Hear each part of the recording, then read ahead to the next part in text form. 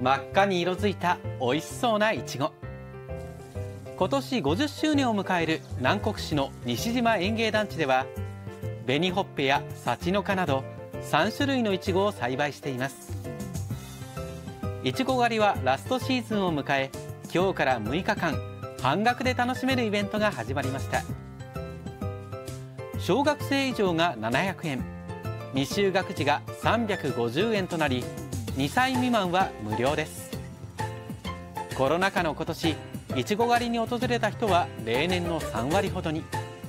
それでもイベント初日の今日は朝から家族連れが訪れいちごをもぎ取り頬張っていました。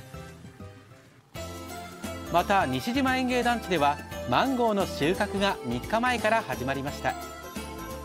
農業用ハウスでは1万5000個を栽培していてこれからはお中元として人気です。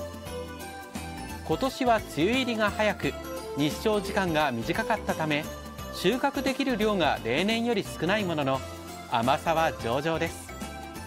甘いマンゴーの見分け方を聞きました。やっぱりこれ大きくてねこう丸くふっくらしてるのが美味しいですよね。真ん中からスパッと割っていただいてねこう格子状に切っていただいてこう開いてガブッとこうね食べてもらう。それマンゴーを食べる醍醐味ですよね。西島園芸団地には旬のフルーツを使ったスイーツを楽しめるカフェがあります。特別に今朝収穫したばかりのマンゴーを使ったパフェを作ってもらいました。いただきます。